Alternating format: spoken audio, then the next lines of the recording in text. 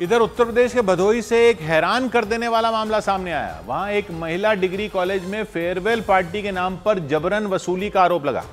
बताया गया कि पैसे नहीं देने पर परीक्षा में कम नंबर देने की धमकी भी दी गई। और उसी से जुड़ा एक ऑडियो वायरल होने के बाद कॉलेज प्रशासन में हड़कंप मच गया। दावा किया गया कि कॉलेज के एक व्हाट्सएप ग्रुप पर भेजे गए उस ऑडियो में सभी छात्राओं से पैसे जमा करने को कहा गया। आप लोगों ने अभी तक पैसे डिपॉजिट नहीं किए। बहुत ही शर्म और अफसोस की बात है कि आप लोग कॉलेज में किसी भी तरीके से कोऑपरेट नहीं कर रहे हैं। आरोप है कि कॉलेज में होने वाली एक फेयरवेल पार्टी के नाम पर छात्राओं से पैसे मांगे गए और नहीं देने पर ऑडियो मैसेज के ज़रिए डराने की कोशिश की गई।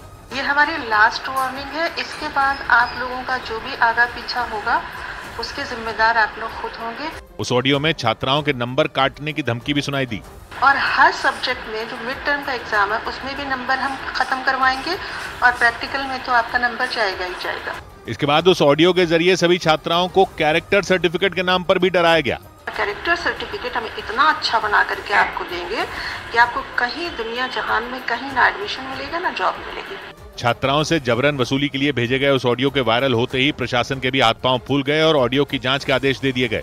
धमका करके या डरा करके पैसा वसूली की तथ्य संज्ञान में आते हैं तो विद्यालय प्रबंधन के विरुद्ध जो कार्यवाही नियमता होनी चाहिए सब कार्यवाही की जाएगी। बताया गया कि 26 अक्टूबर को होने वाली उस फेयरवेल पार्टी के लिए हर छात्रा से ढाई सौ रूपए जमा करने को कहा गया और जब ज़्यादातर छात्राओं ने पैसे नहीं दिए तो व्हाट्सएप पर ऑडियो भेजकर उन्हें धमकी दी गई।